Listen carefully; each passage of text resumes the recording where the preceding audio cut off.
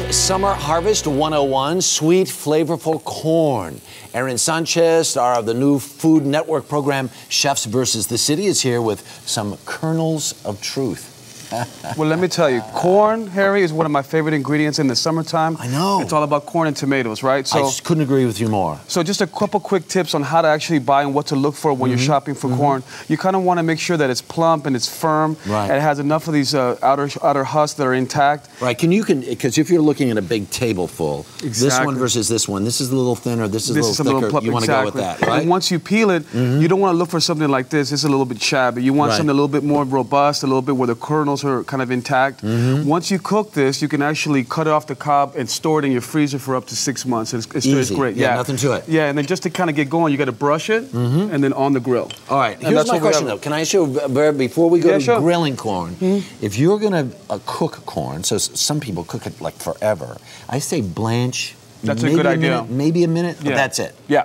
And the reason you do this is because you want to expedite the process and right. kind of cook it and bring out some of that natural sugar. There you go. All right. So, so what are we going to do here? So once we brush it with some oil, right. we actually put it on the grill, and this mm. is about mm. five minutes on each side. Right. And this really helps to give you that charred corn flavor and it really brings out the sugar and the sweetness. Oh my God. So I've actually taken it off the cob, mm -hmm. just real soft. If you have a chance, just to really just work it down. I don't recommend standing it up. Yeah. Just take your knife and run it down each side. Sure. And that's what I've done over here. And then just to kind of finish up this salsa. So what'd you make? I've actually had some red onions and I've tempered it just with a little bit of red wine vinegar. Oh, yeah. To actually take off some of that raw red onion that's flavor. Working. That's we're working. Gonna, we're gonna add that to our bowl. Okay, that works. And then a little bit of cilantro. You gotta have the cilantro. A little bit of fresh basil. Mm -hmm. Some roasted tomato. Oh, look at that. and this is actually this after it's been diced up. And then I just season it with some salt, pepper. You can stir that for me.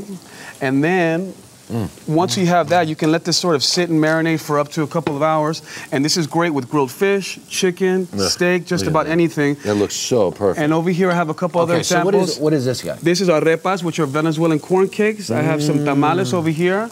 And I've actually have a couple samples. So you have any friends that you want to invite over so we can sample some of this good stuff? Hey, friends, do we have any friends? Excuse me, Lonnie, do we have any friends who want to help us sample the uh, food here? What I was doing, I was looking for my lifts. Yeah. All right. How are you guys? Welcome. Uh, Come on in here. My new friends. Poor Lonnie's the shortest person up here. what are we eating, guys?